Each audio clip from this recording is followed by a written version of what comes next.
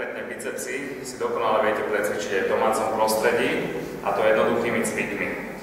Supináciou, a teda vytáčaním paže, z prípaženia točím činku smerom hore, pohyb dokončujem pred ramenným pletencom, lakeť, alebo teda nadlakte mierne dvíhajte smerom hore a ruku v zápäti vráťte naspäť do prípaženia. Na striedačku môžem dvíhať druhú ruku, dokončím pohyb zase pred ramenom, nadlakte mierne hore, dokončím pohyb.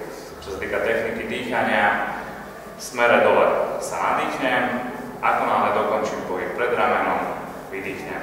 Toto je jedna z variant. Kľudne pohyb môžete vykonávať obidvomi pažami naraz.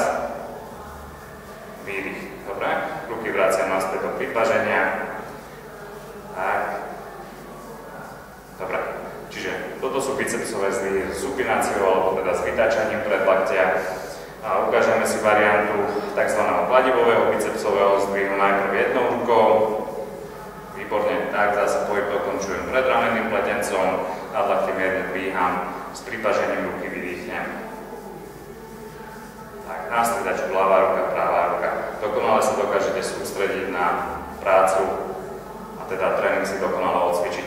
Varianta ďalšia, a teda dvíhanie paží obojručne, smere hore sa zase